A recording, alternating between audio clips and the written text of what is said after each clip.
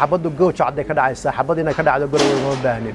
Ninka xabad ka reedaya garowana dee waxaan waan haysanay nin soo lumay inuu yahay xabadda ku waday gooja cadde marka bayaankayban ku caddahayba inaanu socono xamar.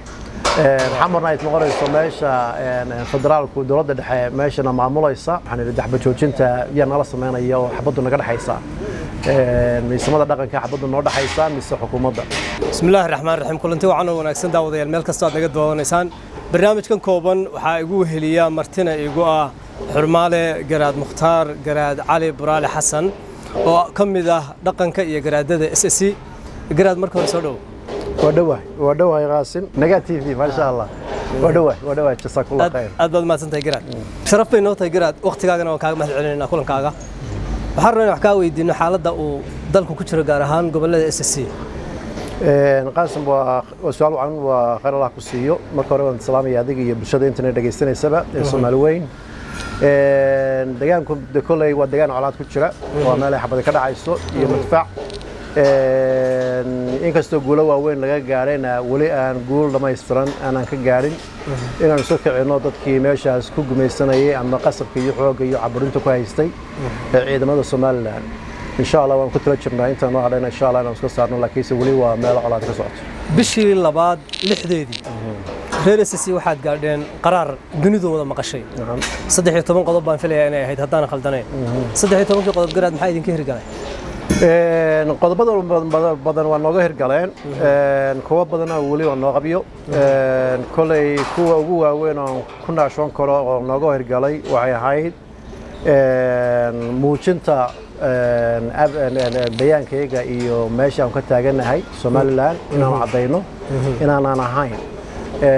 Kana mid ahayn somalilan horena uga mid noqon. Maantana ku muujinay oon ku xaqiijinay dhiiggayga naga daatay iyo inta nagaga dhimatay. Marka taas waa guul weyn.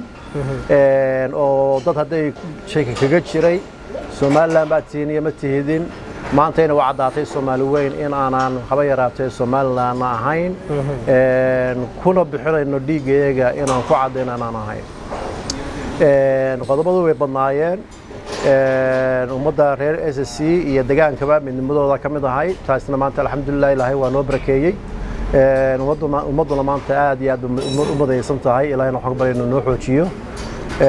Ta saddexaad oo iyana ka mid ahayd qodobadii ugu waaweynaa in aanu samaysan doono maamul hadafkayga fogna uu yahay maamul goboleed dadka degaanka iyo dhulkaba degaa iyo dhiig iyo dhacaankaba wadaagaa inay isku yimaadaan ay samaystaan shaar iyaga ku filan si ay uga mid noqdaan maamulada xukuumadda soomaaliya. Intaa ka horna inaanu samaysano maamul kumeel gaadh ah oo ka kooban afartan iyo shan xubnood. Oo marka iyagu hoos yimaada maamulka dowladda federaalka soomaaliyeed. Alxamdulilah maanta afartan iyo shantii maamulkaas waa noo soo dhammaystirmeen. Haddana insha allah isku keenkoodii iyo in aanu ku wareejinno hawlihii aan u igmanay inay noo qabtaan baa noo dhiman. Taana insha allah dhawaan baan filayna inay ka dhici doonto deegaankeeda garaad waxaad ka dhawaajisay inaad dhisteen xubno maamula markii horena waxaa idiin dhisnaa xubno guddiga soddon iyo saddex. Si fiican. Maxay ku kala duwan yihiin labada guddi? Shan iyo afartanka iyo soddon iyo saddex. Waxay ku kala duwan yihiin. Wax kasta marka la dhisaya hadaf baa lagu dhisaa. Iyo inay gaadhaan goolka loo igmaday inay inay inay inay fuliyaan. Soddon iyo saddexdu waa runtii halbowlaha kacdoonkan iyo halgankan ayay ka mid yihiin lafdhabarna way u yihiin. Hadafkii loo dhisayna waxay ahayd hawshitan meesha ka dhacday intaysan bilaabin kacdoonku. Inay soo dhiraandhiriyaan oo ay keenaan talabixintii iyo ururintii bulshada iyo afkaarteeda iyo ay ka tashiga ummadda. Taana ilaahay waa ku guulay waanoo dhammaystiray waynu soo gaadhsiiyeen in ay ka tashigii ummadda reer s c ay soo gaadhsiiyaan ilaa ay ka soo saareen bayaankii bisha lixaad bishii labaad lixdeedii labadeedii sorry lixdeedii ka soo baxay bahda degaanka taasoo ahayd runtii mid ay u soo saareen saad ka warahaysid qaasanoo dee maalintaas bayaanka la soo saaray intuusan bayaankuba naga soo bixin wixii kale markaa la samayn lahaaba. Xabad baa nagu waaberisatay marka hawsha xabadda iyo dagaalku waxay noqotay wax nagu dul furmay oo kadis noogu yimid. Intii markaa meesha joogtay ahayd soddon iyo saddexda iyo ismaduna niyadda intii kale meesha joogtana dee nin kasta waxay noqotay inuu meeshuu joogo uu hawshiisa wixii kaga danan ka qaato marka runtii waan odhan karaynaa hadafkii loo sameeyey guddida soddon iyo saddexda ahayd oo ahayd inay ay katashiga sameeyaan ay runtii shaqa wacan ka qabteen oo ku guulaahay ku guuleeyey intii kalena xilliyo waa isa saareen ay ahayd oo lagu waday dee hawshay hadayicin ilaahay baa dusha maanta kaa saaray afartan iyo shantu waa kuwo iyaguna la mida laakiinse hadafkooda kale uu yahay inay gaadhsiiyaan deegaanka kan. Marxaladda ku jirna ka saaraan gaadhsiiyaanna marxalad kale oo ah inay gaadhsiiyaan sidii loo gaari lahaa maamul goboleed buuxa sidii loo samaysan lahaa. Marka labada hadafkay kala duwan yihiin. Labadaasay ku kala duwan. Yihiin waa hagaag. Waxaa baraha bulshada ayaamahan la marinayey inaad dowladda dhexe xidhiir la samayseen oo dhaqanka iyo dowladda dhexe ay casuumaad kala heleen. Ma idinkaa codsaday dowladda dhexe inaad la kulantaan mise dowladda dhexe idin codsatay inaad idinla kulanto qaasna waa su'aal wacan. Dowladda dhexe haddii si loo fiiriyo bayaankeenni baan ka codsanayba inaan la kulmayno. Marka loo laabto bayaankii ka soo baxay bishii labaad lixdeedii waxaanba ku caddaynay in qodobkiisa afartan sideetanaad dastuurka soomaaliyeed aanu hoos tegayno dowladda federaalka soomaaliyeed uu madaxweynaha u yahay xasan sheekh. Marka bayaankii baan ku caddahayba inaanu socono xamar. Xamarna ay noqonayso meesha federaalku dowladda dhexe meeshana maamulaysa marka dee halkaasay ka caddaydba. Meesha maanta u socnaana waa xamar. Cidda madaxweyne noo noqonaysana dee maantana inoo ah. Maamul ahaana inay noqonayno inaan hoos nimaano inta kumeel gaadhka waa dowladda maanta madaxweynaha u yahay xasan sheekh marka nooshinka isagaa marti qaaday miya mise idinkaa cod dalbaday dee dalku halkaasiba ka jiraaba inaynu soconay inagoo cuskanayna taa dastuurka. Tan ugu dambeysay ee ah martiqaadka waa run waa mid jirtay. Martiqaadka inuu madaxweynuhu noo fidiyey inaanu ku kulanno oo markaas si foolka fool ah aan ku wada hadalno way jirtay dhowr jeer hore oo wada hadal aan wada yeelnay khadka telefoonka ah. Laakiinse wax kastaaba dee xasaasiye badan ka jirto u baahan foolka fool in loo wada hadlo. Taana madaxweynaha uga mahadinay waana ka qabalnay. Koley waxaan weli la gaadhin uun saacaddii ay dhici lahayd kulankaasi.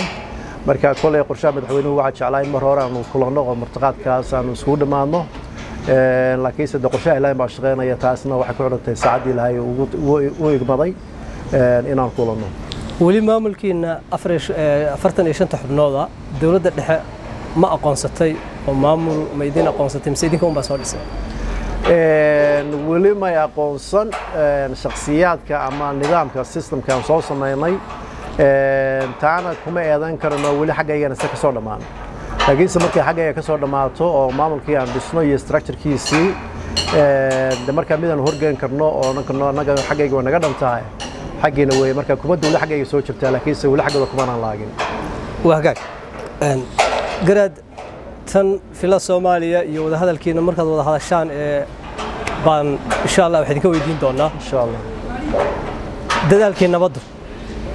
Waxaa jirtay dadaallo badan oo la isku dayey ama dowlado ha isku dayeen ama shakhsiyaad ha isku dayeen ama dhaqan isxilqaamay oo koonfurta soomaaliya ka gudba ha isku dayeen. Xaguu ku dambeeyey dadaaladii nabaddu waa run way jirtay dadaalo fara badan oo la isku dayey ama international community ha noqoto ama ismo dhaqan ha noqoto oo soomaaliyeed. Laakiinse weli mid soo dhammaystiray ama soo afjiray colaaddii ka socotay laasacanood ee ka bilaabantay bishii labaad lixdeedii weli ma dhicin. Waxayna u eg tahay arrin xoogay aad u adag. Waayo labada dhamba waxay haystaan. Dhan kastaaba meel waxay saaran yihiin aad u kala fog. Tusaale de koley sidii aad ka arkayseen baraha bulshada iyo baaqyadii ka soo baxaya musabiixi waa ku dhaartay waana ku caddaystay kuna adkaystay inuusan haba yaraatay gorgortan ka gelaynin inuu ka soo baxayo ama ciidankiisa kala soo baxayo gooja cadde taas marka macnaheedu yahay wax kastoo kale wuxuu doonayaa in la galo iyadoo ciidankiisa madaafiicda ku soo tuuraya laasacanood in iyagoo jooga gooja cadde in lagu galo. Annagana waxaa naga soo baxday hadalka ah oo erge badan oo noogu timid aanu la wadaagnay oo ay ka mid ahaayeen kuwii noogu horeeyey etoobiyaanka ismadii islaadiintii xagga reer waqooyiga ka yimid. Iyo cid kastoo hawsha nagala hadashayba aanu consistently uga wada hadlaynay. Haba yaraatee wax gorgortan ama wada hadal oon gelayno ma jirto inta ciidankaasi uu meesha joogo oo xabadda iyo madaafiicda nagu wado. Marka waad dareemaysaa in annaguna meeshaan taagan ay tahay dee annagoo dadkayga barakaceen dhiiggayga qulqulayo ubadkayga dayacan yihiin madficii nagu dhacayo ninkii nagu soo turayna magaaladu dhex joogo inaysan iyaduna siinayn inaanu wada hadal iyo waanwaan kalo nabadeed ka galno maadaama weli magaaladeeda lagu dhex jiro.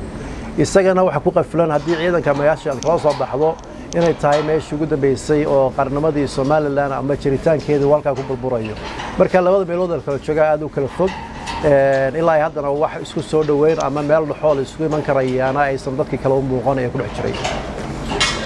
Ergada dhaqanka garaad aad carabka ku dhifatay ee koonfurta soomaaliya ka timid. Hargeysa iyagoo tegey dhowr wiig muddo bil ku siman.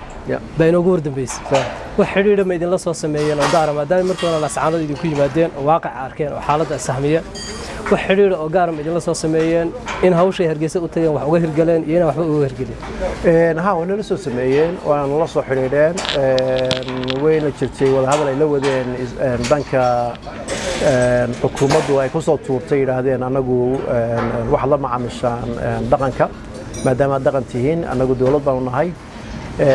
Dhaqankii markay la macaamileenna ay isla qaateen inay xabajoojin sameeyaan xabajoojintiina annaga nala soo xidhiidheen kadibna annagu waan ka culdaaran waxaan idhi xabajoojinta yaa nala samaynaya oo xabaddu naga dhexaysa. Miisamada dhaqanka xabaddu noo dhexaysa mise xukuumadda. Marka dee tii waxaa soo caddaatay cid ay xabaddu noo dhexaysa inay xukuumadda tahay oo xabadda nala dhacaysay taasna waxay noqotay dee marka ismadii ay la macaamilayeen inaysan iyagu noqon karin kuwa xabadda joojin karaya haddaysan mandate ka haysan xukuumaddii marka taasaan dib ugu celinay inay mandate ka soo qaataan guddidii dhexdhexaadkana ama ismadii kalena ay garowsatay kadibna waxay soo qaateen ama ka codsadeen qolyihii kale dhanka kale inay ka soo qaataan mandate iyagu ku mateli karaan awooddoodana ku leeyihiin wixii lagu heshiiyo inay fulin karayaan. Ama cabajoojin ha noqoto ama ciidan qaadis ha noqoto ama weji kasta ha noqotee tiiba markaa sugaynay meeshii aan taa ka sugaynayna waa kii muuse bixi ka hadlay meeshii golahooda xisbiyada. Kana caddeeyey in haba yaraatee ciidan laga soo qaadaya meeshaas aysan jirin. Taasoo markaa runtii u quuskoysay wixii waanwaan ee socday. Oo ahayd haddii loo wada hadlayo xabajoojin la samaynayo xabajoojinta dee hadafkeedu waa inuu caddaadaa. Xabajoojinta markaa anagu aan filayna waxay ahayd mid ku aadan ciidanka qaadistiisa iyo sidii loo reeri lahaa iyo sidii ay nooga amniga heli lahaayeen ama nabad nooga heli lahaayeen. Laakiinse markii muuse taa soo saaray waxay baabiisay rajada markaa inaan ciidan la qaadaynin. Annaga markaa nooma muuqato dee macno kale inay ku jirto xabajoojin lagu sameeyo magaalada dhexdeeda. Meeshan ciidanka lama joogo oo ka soo kala dhex fadhiya nimankan xabadoodii waa na soo gaaraysaa. Marka kolay ismadu halkaas bay runtii kaga badishay inaysan helin weji kale hore ugu dhaqaajiyaan. Waa hagaag aad iyo aad baad u mahadsantahay garaan. Muuse iyo hanjabaadiisa marka laga yimaado inuu u qoosgoynayay ergadii martida isaga u ahayd. Maxaa intaa ka dheer oo fariinah oo uu dirayay baad isleedahay muuse iyo hanjabaadiisa weliba hadalkiisa ay ka mid ahay inuu furihii uu qafil furihii lagu xidheeyey isagoo gacanta ku hayo. Nacam hanjabaadiisa maxaa kaaga baxay? Kolay nin go'aansaday kalsoonina isku qaba inuu hawshatan gacan bira ku soo qabanayo alxamdulilah way fadlilaahay kolay muddadaa shanta bilooda in aysan isku day kastu isku sameeyey iyo awood kastuu isbiday inuusan ilaahay ku guulayn haddana waan rajaynaynaa awood kastuu isbidayo inaysan tiisa noqon ilaahay waxaa dulmiga meesha ka socda uu u jeedo kolay kibir baa ku jiray hadalkiisa sheekaysaa ku jirtay. De koley waxaan leenahay de haddii wax kale ku hareen annagu wax kastoo uu isku dayi karaya in ummadda ku xasuuqo ku baabi'iyo isma lihin oo ula hadhay inay jirto laakiinse hadday weli wuxu dhiman yihiin hajabadda halkaas ku gaarana de waa sugaynaa inaan ka aragno insha allah. Waagaag puntland baan laba saddex su'aalo rabaa inaan kaa weydiiyo. Doorashaa ka jirta. Maxay saamaynoo idinku leedahay haddaad tihin reer SSC iyo doorashada puntland? Waa sax weeye.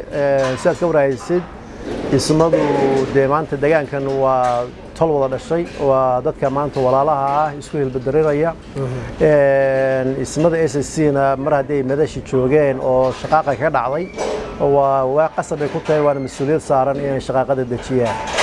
Wixii khilaaf ka imanayana ay ka hortagaan maantana sidaad ka waraysid degaankaas dadku ay wada degaan. Khilaaf kale ma qaadi karayaan. Maanta oo dhan waa inay suu geeyeen waxaan awood leenahay. Meesha cadowga maanta lagu gumaadayo.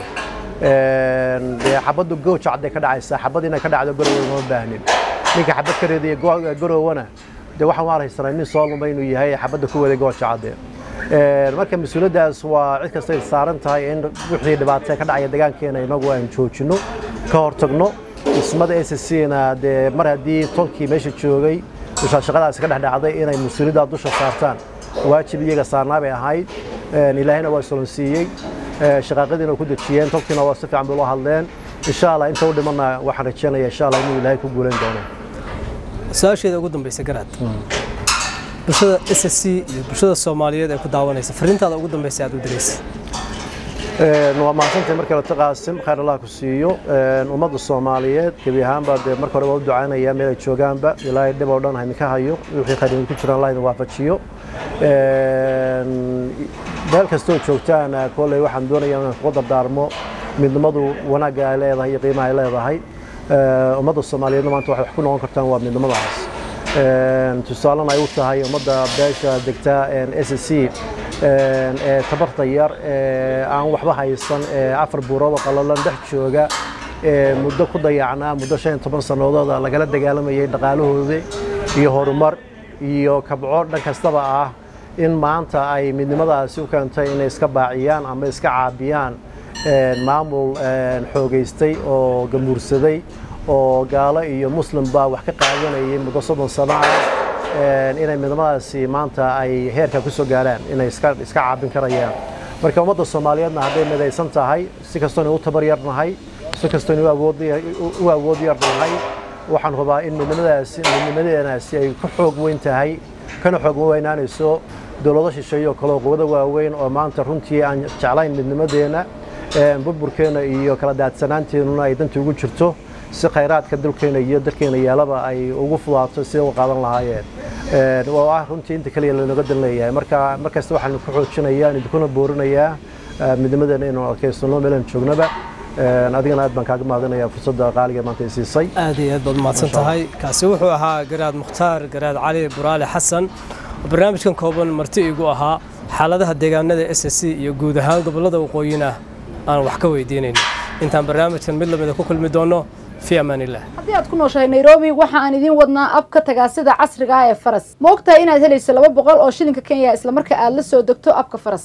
Lacagtaanoo ah faras maylis ayaad ku iibsan kartaa kaarka ku hadalka waxa aadna ka dhigan kartaa internet sidoo kale waxaad ku shuban kartaa imbesa waxaadna u diri kartaa saaxiibadaada isticmaala adeega faras maylis faras maylis waa dhibco dhigma lacag ahaan taasoo aad helayso mar walba oo aad raacdo shirkada gawaarida online-ka ah ee faras boqolka faras maylis waxa u dhigmaa boqol shilinka kenya. Faa'iidayso oo aruurso faras maylis